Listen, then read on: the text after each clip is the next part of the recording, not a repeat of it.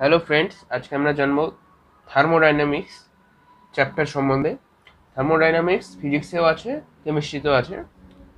আর thermodynamics চ্যাপ্টারের বিশেষ কিছু জিনিস, প্রথম আজকে আমাদের যে টপিকের মূল বক্তব্য হবে, যে বেসিক টার্ম সম্বন্ধে জানব প্রথমে।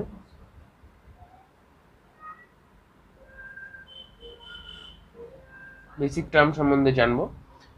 তারপর আজকে বিশেষত বাইরের দিকের যে আলোচনা, বাইরের দিক বলতে প্রথমে যে মুখ্য যে আলোচনা, সেইটা সম্বন্ধে আজকে জানব। এবং এরপরের যে ভিডিও আসবে, তাতে আমরা থার্মোডাইনামিক্সের প্রথম যে ল, অর্থাৎ তাপগতিবিদ্যার প্রথম সূত্র, সেই সম্বন্ধে জানব। তো থার্মোডাইনামিক্সকে বাংলায় কি বলে? তাপগতিবিদ্যা।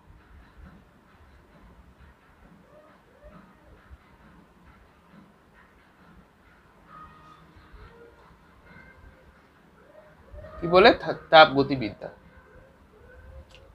ঠিক আছে? তো বেসিক টার্ম আমাদের বেসিক টার্মের মধ্যে প্রথমে আমাদের জানতে হবে, সেটি কি? সেটি হলো কি? সিস্টেম সিস্টেম কি? বৈজ্ঞানিক পরীক্ষা নিরীক্ষার সময় ইউনিভার্স বা বিশ্বের যতটুকু অংশ আমরা মানে আলোচনা করব, সেই অংশটুকু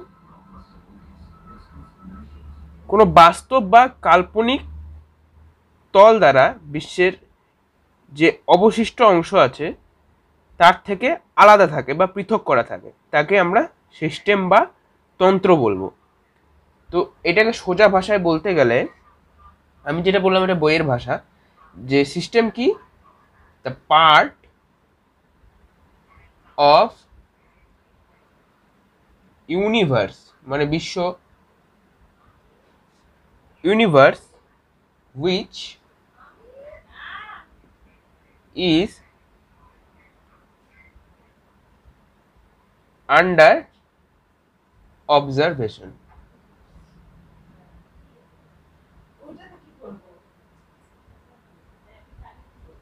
ঠিক আছে? আন্ডার অবজারভেশন এটা হলো সিস্টেমের definition the part of universe which is under observation ঠিক আছে? মানে যদি আমরা যে, ধরো, এই আমার যে মার্কার পেনটা আছে, সেটাকে নিয়ে যদি আমি আজকে আলোচনা করব মানে কোনো বিষয় তোমাদের বলব এই ব্যাপারে পরীক্ষা নিরীক্ষা করব, আলোচনা করব, তো এইটা হবে সিস্টেম ঠিক আছে? এটা একটা সিস্টেম হবে। বৈজ্ঞানিকরা যে কোনো একটা সিস্টেমের মধ্যে কোনো কিছু আলোচনা করে, ঠিক আছে? সিস্টেম একটা টার্ম আরেকটা কি গুরুত্বপূর্ণ term surroundings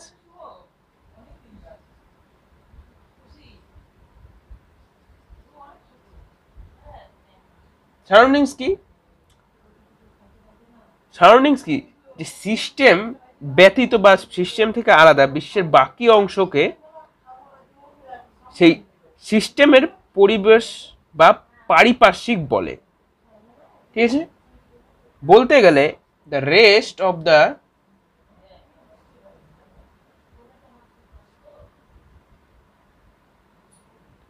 part of the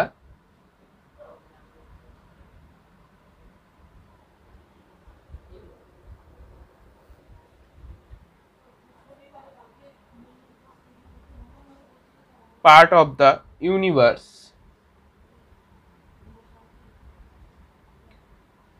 Other than system. মানে সিস্টেম বাদে যেটুকু জিনিস বিশ্ব ব্রহ্মাণ্ডে উপস্থিত, সেটিকে আমরা বলব সেই সিস্টেমের পারিপার্শ্বিক বা সারাউন্ডিংস বা পরিবেশ।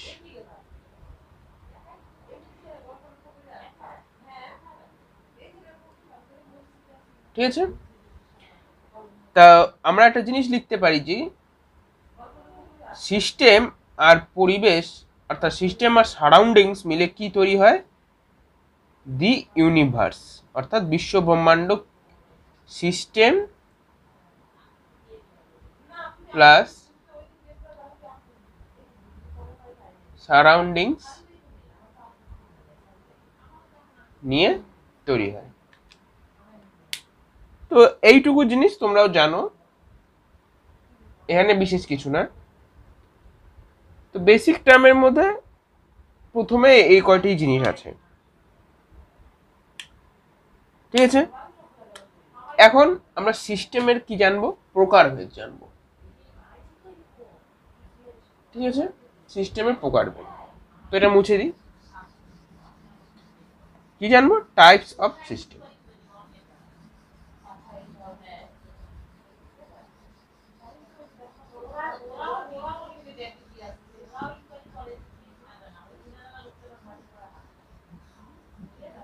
তো বন্ধুরা সিস্টেম বলতে আমরা এরকমও বলতে পারি, যখন আমরা যে মেডিকেল কলেজে তো অনেকজন পড়ো মানে পড়ে আর কি, তো ওরা তো একটা ডেড বডি বা, কোনো একটা প্রাণীকে নিয়ে নিজের আলোচনা করবে ইনভেস্টিগেশন করবে, তো সেই যে প্রাণীটাকে আমরা সিস্টেম বলব, আর যার, সেই প্রাণী বাদ দিয়ে যা কিছু আছে, তাকে আমরা বলব সারাউন্ডিংস তো আশা করি তোমরা বুঝছ।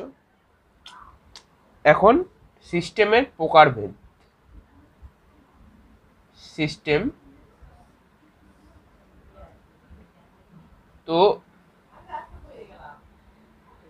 সিস্টেমের প্রকারভেদ বলতে আমরা প্রথমে জানব ওপেন সিস্টেম। অর্থাৎ মুক্ত যেটা। ওপেন সিস্টেমের ব্যাপারে জানব। Open system. তো,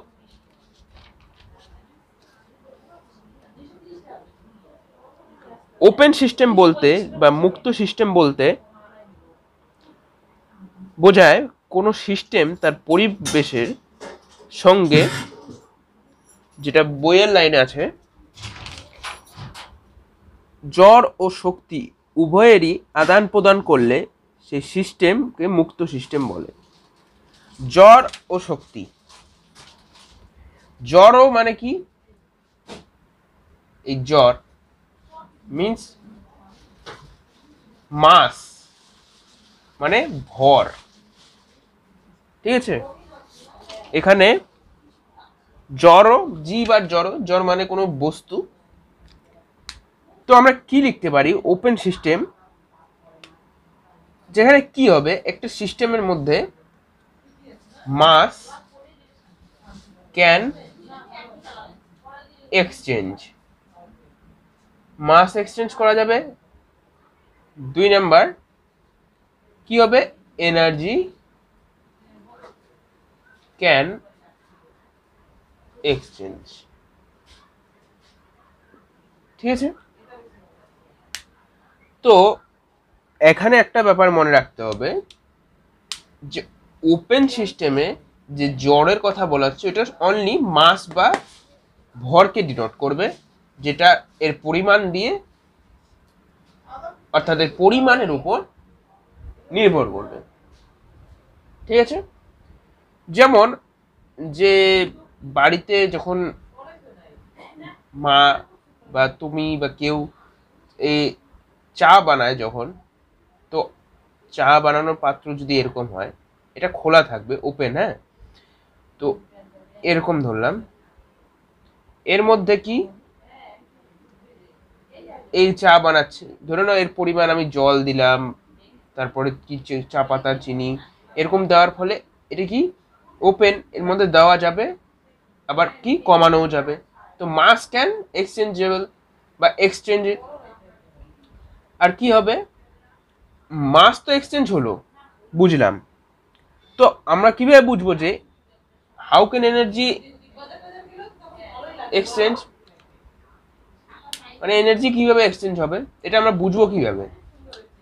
তো আমরা এখানে এনার্জি বলতে মূলত বুঝব হিটের কথা, কারণ যদি গ্যাসের যে ওভেনের হিট যদি আমি কমাই, তাহলে ঠান্ডা মানে কম হবে হিট যেটা থাকবে। আর যদি বাড়াই, তাহলে কি হবে? সেটা উষ্ণ হবে, গরম হবে। তো হিট ক্যান এক্সচেঞ্জ ঠিক আছে? ওপেন সিস্টেম এটা খোলা আছে ওপেন ঠিক আছে? এরপর আরেকটা সিস্টেম কি? এটাকে বলি বদ্ধ সিস্টেম বা ক্লোজড সিস্টেম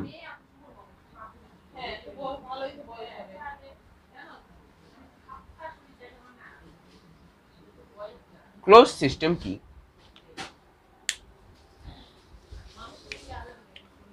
তো ক্লোজ সিস্টেম কি বলব? তো ডেফিনেশন দেখো বইয়ে কি কি বলা আছে? যে সিস্টেম তার পরিবেশের সঙ্গে কেবল শক্তির আদান প্রদান করে, কিন্তু জড়ের আদান প্রদান করে না। দ্যাট মিনস শক্তির আদান প্রদান করবে, তো জ্বর বলতে কি? বারবার বলছি ভর। জ্বর মানে ভর। তো মাস ক্যান নট এক্সচেঞ্জ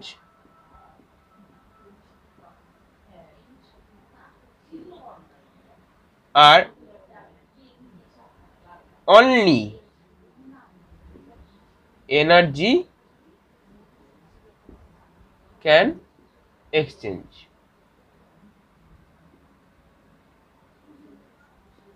ছি কেমন লেখা? হ্যাঁ। তো কি?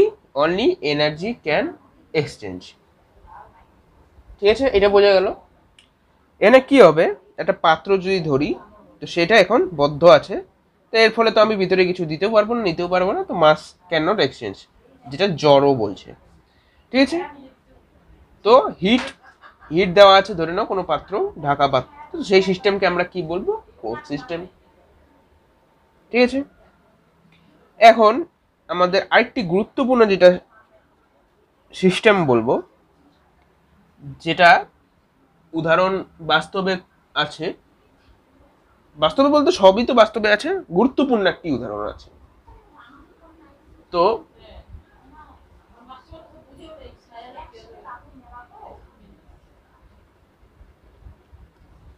এবার দেখো,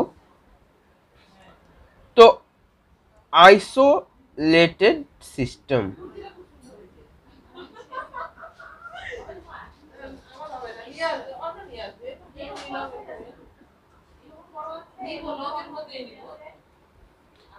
তো এখানে কি হবে? একটি থার্মোফ্লাক্সকে যদি আমরা কল্পনা করি বললাম তোমাকে একটি বাস্তব উদাহরণ আছে এখানে। তো একটি থার্মোফ্লাক্স যদি এরকম হয়, দেখো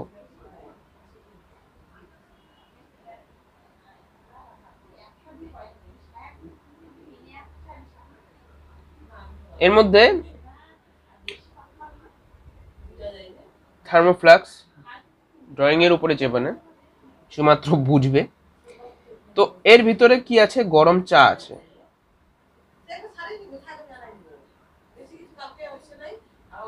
হট টি কেউ তো ঠান্ডা চা খাবে না? হট টি হবে। ঠিক আছে? এখন এক্ষেত্রে কি হবে? যে এক্ষেত্রে যে মাসের যে এক্সচেঞ্জ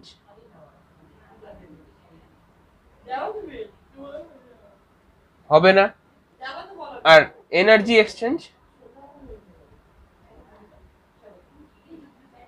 আমরা এটা পড়ে আসছিলাম যে হয় না। এটা শুধুমাত্র এইটুকুই পড়ে আসছিলাম যে থার্মোফ্লাক্সে কোনো এনার্জি এক্সচেঞ্জ হয় না, এই জন্যই তো গরম থাকে। ঠিক আছে? তো এখন আমাদের প্রশ্ন করা উচিত তোমাদের মনে আসতে পারে যে কেন এনার্জি এক্সচেঞ্জ হয় না? এনার্জি এক্সচেঞ্জ না হওয়ার কারণ? এনার্জি এক্সচেঞ্জ না হওয়ার কারণ যে এই যে পাত্রটার এর পাশের যে আস্তরণটা, এই আস্তরণকে কি বলে?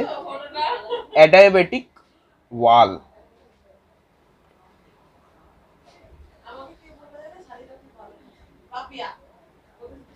ঠিক আছে? এটাকে বলব অ্যাডায়াবেটিক ওয়াল। আর যেটা ওপেন সিস্টেমে থাকে এবং ক্লোজ সিস্টেমে থাকে, তাদের ওয়ালটা কি? যেটা হিট এক্সচেঞ্জ হয়। তা এটা আমার মনে রাখতে হবে যে কি? যে থার্মোফ্লাক্সের যে ওয়াল, সেক্ষেত্রে কিন্তু কোনো হিট এক্সচেঞ্জ হয় না। আর সেই ওয়ালটা মানে যে পাত্রর যে আস্তরণটা, সেটাকে বলব অ্যাডাবেটিক ওয়াল। আর এখানে এটাকে কি বলব? ভালো করে দেখো। এটাকে বলব আমরা ডাই থার্মাল ওয়াল।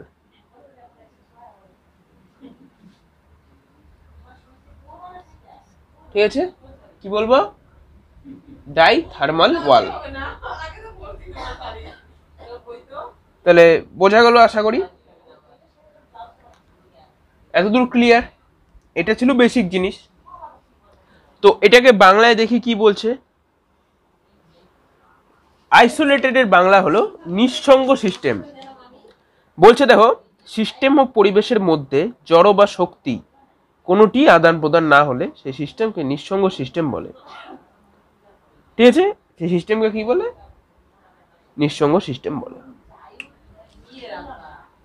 এখন, তো এটা বুঝে গেছো? তাহলে এটা মুছে দিচ্ছি। তো এখন আমরা জানব কি properties of properties of system properties of system এটার ব্যাপারে জানব। তো প্রপার্টিস অফ সিস্টেমের মধ্যে দুটি জিনিস জানতে হবে। প্রপার্টির দুটি মানে বিষয়ের উপর ভিত্তি করে আমরা আলোচনা করব। যেটা হলো কি? একটা কি? ইন্টেন্সিভ ইন্টেন্সিভ প্রপার্টি বা যেটাকে আমরা বলব অবস্থাগত ধর্ম বা ভর নিরপেক্ষ। মানে ভর নিয়ে এখানে আলোচনা হবে না। ভর হবে না। আরটা কি জানব? এক্সটেন্সিভ প্রপার্টি যেটাকে পরিমাণগত বা ভর সাপেক্ষ বলব।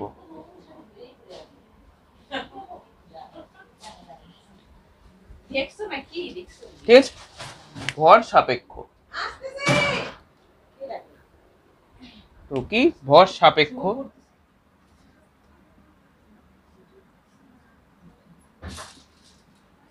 আর ভর নিরপেক্ষ ধর্ম। তো ইন্টেন্সিভ এক পাশে লিখব এক্সটেন্সিভ এক পাশে লিখব। লিখলাম ইন্টেন্সিভ এটা লিখব এক্সটেন্সিভ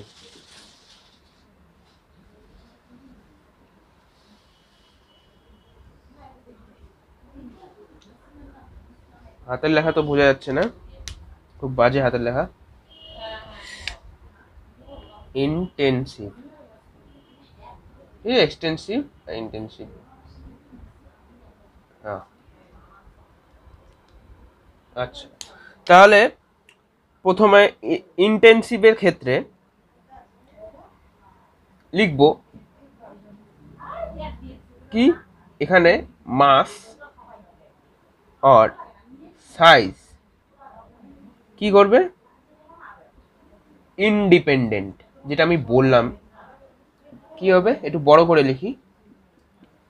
ইনডিপেন্ডেন্ট অর্থাৎ এখানে মাস আর সাইজ নিয়ে কোনো কথা হবে না।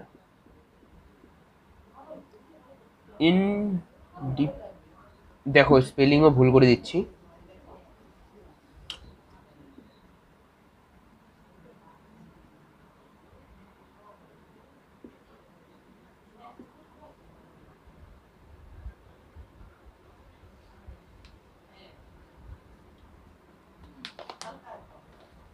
ঠিক আছে? আর এখানে কি? মাস অর সাইজ ডিপেন্ডেন্ট অর্থাৎ নির্ভর করে।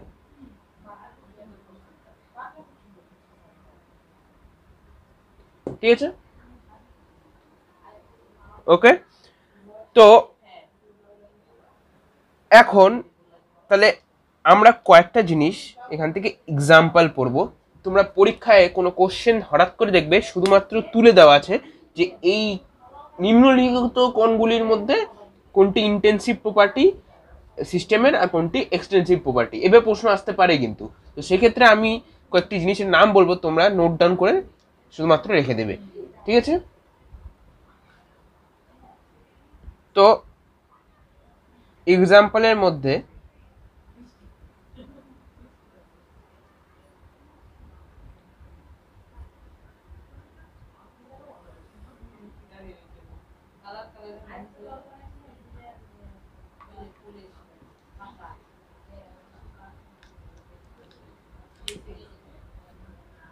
তো এক্সাম্পলের মধ্যে কয়েকটি জিনিস আছে।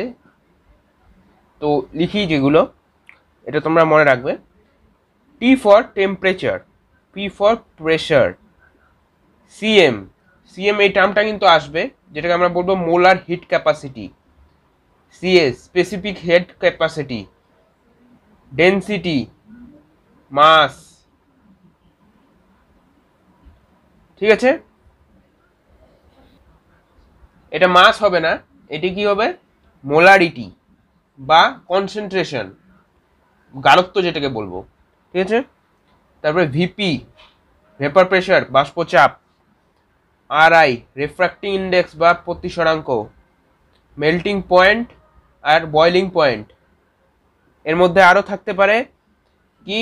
সারফেস টেনশন পৃষ্ঠটান। দ্বিমেরু ভ্রামকও থাকতে পারে সারফেস টেনশন ভিসকোসিটি সান্দ্রতা। এই এক্সেট্রাও থাকতে পারে, ঠিক আছে? আর এখানে মনে রাখবে একটা জিনিস, দুটো এক্সটেন্সিভ প্রপার্টির যে রেশিও সেটা কি? ইন্টেন্সিভ হয়। এটা কিন্তু প্রশ্ন আসতে পারে। এটা কিন্তু ভেরি ভেরি ইম্পর্ট্যান্ট ঠিক আছে? এরপর এক্সাম্পল এর এক্সাম্পল কি? Weight volume total heat capacity C K E for internal energy internal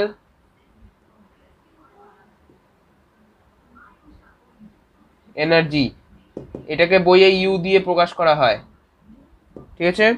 এটা কি total heat capacity total H C লিখলাম আমি হিট ক্যাপাসিটি এটা কি মোলার এম ফর মোলার এটা কি স্পেসিফিক ঠিক আছে? তারপর এনথ্যালপি গিভস মুক্ত শক্তি বা গিভস এনার্জি এস ফর এনট্রপি ঠিক আছে? এটা মনে রাখবে। ঠিক আছে? এটা কি এনট্রপি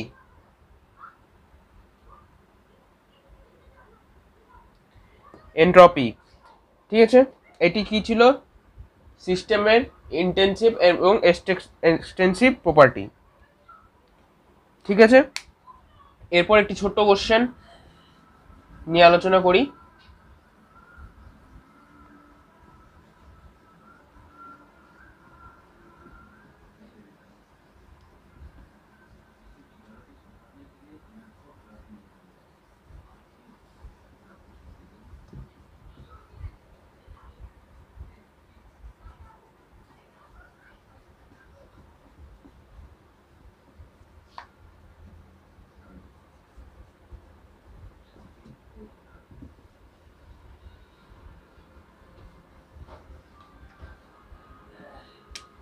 তো একটা কোশ্চেন নিয়ে আলোচনা করি যদি হুইচ ইজ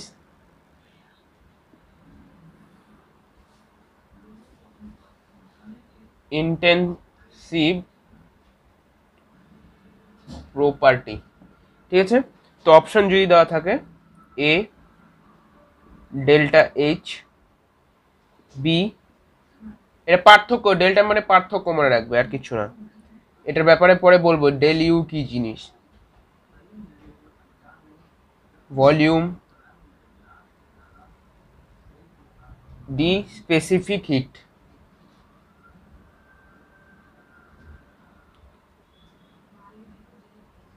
ঠিক আছে? আরেকটা জিনিস মনে রাখবে ইন্টেন্সিভ যখনই আমরা মনে করব,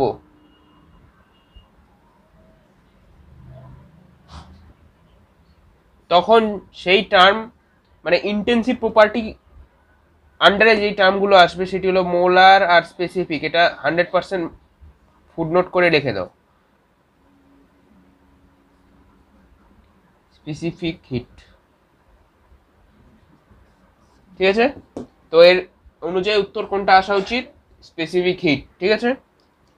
শেষ।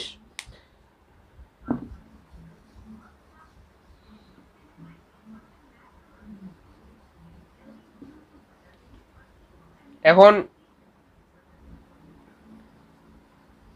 এরপর আমরা জানব স্টেট আর ফাংশন কি? State and path function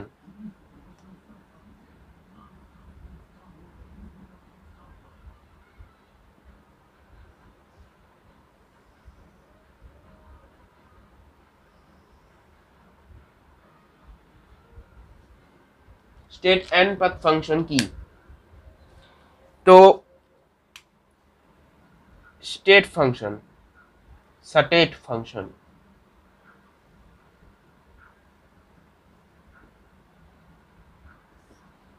কি লিখে রাখো ডিপেন্ডস অন ছোট ছোট টপিক এটা আজকে আলোচনা করে দিব ইনিশিয়াল অ্যান্ড ফাইনাল স্টেট। এবার দেখি বইয়ে কি লেখা আছে। দেখো।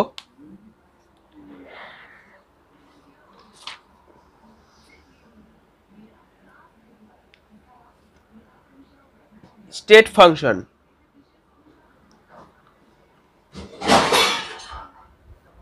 তো স্টেট ফাংশনে বলা আছে, দেখো।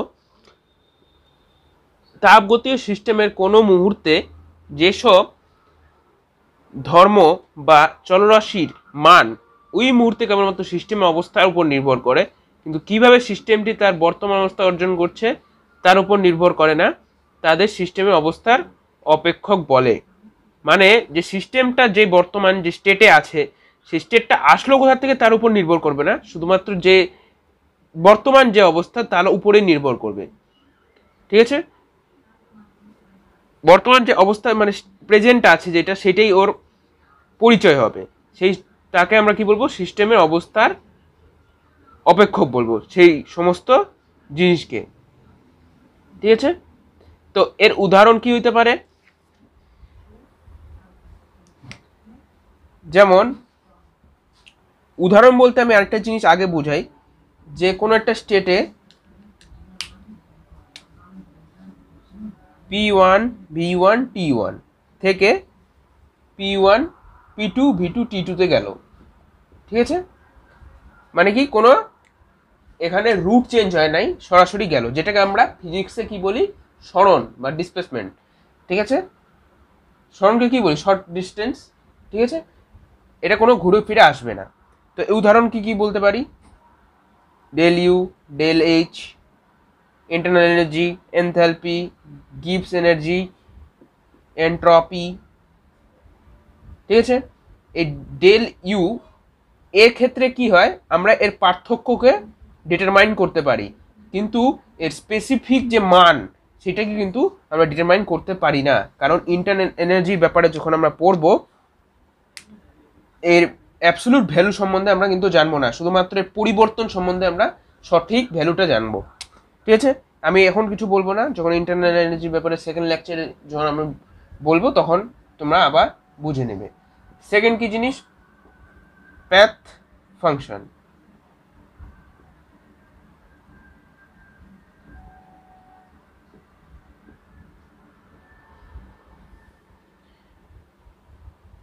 প্যাথ ফাংশনের উদাহরণ কি কি হতে পারে? প্যাথ ফাংশন বলতে যে আমরা মানে ধরে নাও, তোমরা ছোটবেলায় স্কুলে যেতে যখন, তো সোজা সকাল বেলায় স্কুলে চলে যেতে। কিন্তু আসার সময় কোনো সময় কোনো দিন কোনো যদি তোমরা কারোর সঙ্গে দেখা করে বা ঘুরে ফিরে আসতে, তখন সেই ঘটনাকে আমরা কি বলব? প্যাথ ফাংশন অর্থাৎ এখানে একটু শর্ট ডিস্টেন্স না, এখানে যে ঘুরে ফিরে আসবে, ব্যাপারটা হলো এরকম। তো তোমরা বেসিক যাবে না, উদাহরণগুলো মনে রাখবে। উদাহরণগুলো কি কি? ওয়ার্ক কিউ মানে charge total heat capacity Q মানে চার্জ না সরি এটা হবে হিট থার্মোডাইনামিক্সে কিউ সবসময় হিট হবে। আমি ইচ্ছা করে বললাম চার্জ ঠিক আছে? আমরা কিন্তু মনে করব, অনেক সময় কিউ দেখলে আমরা স্মল কিউ মানে চার্জ ভাবি, কিন্তু না। ঠিক আছে? এটা হিট হবে এখানে। আর সিটি বা এটাকে আমরা টোটাল হিট ক্যাপাসিটিকে সিও লিখতে পারি। ঠিক আছে? এটি হলো উদাহরণ প্যাথ ফাংশনের ক্ষেত্রে। অনেক ঘুরে ফিরে যে ফাংশনে আসে মানে কোনো একটা স্টেট থেকে একটা স্টেটে তো বন্ধুরা, এই ভিডিওতে এতটুকু ছিল। এই দুটো ডেফিনেশন বইয়ের মধ্যে খুব ভালো দেওয়া নেই। তোমরা শুধুমাত্র স্টেট ফাংশনের যদি ব্যাপার বলে, যেটাকে পথ নিরপেক্ষ, একটা পথ সাপেক্ষ যেটা, তো সেই ক্ষেত্রে উদাহরণগুলো বা প্যাথ ডিপেন্ডেন্ট বলতে হবে যেটা। Depends on initial and final state state function ঠিক আছে?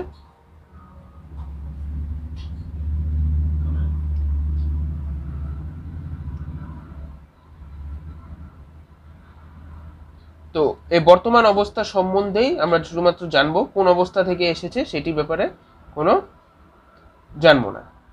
প্রাথমিক এবং ইনিশিয়াল মাঝখানে কোথায় কোথায় কি হয়েছে এটির ব্যাপারে জানব না। পি ওয়ান ভি ওয়ান যদি ছিল P one V two T two আসলো, সেই, সেইটুকুই জানব, এইটা আর এইটা। এর মাঝখানে কী হয়েছে জানব না, কিন্তু প্যাথ এখান থেকে প্রথমে কি বাড়ানো হলো, কি কমানো হলো, তারপরে কোথা থেকে আসলো, সেই ব্যাপারে জানা হয়। এটা লং প্রসেস এটা শর্ট প্রসেস এইভাবে বলতে পারো। ঠিক আছে? তাহলে কি কি? এটা work heat total heat capacity আবার লিখে দিই। এই সিটা একই জিনিস। Total heat capacity. ঠিক আছে? তো বন্ধুরা, আজকের ভিডিওতে এতটুকুই। নেক্সট ভিডিও খুব তাড়াতাড়ি আসবে। চ্যানেলের সঙ্গে থেকো। All the very best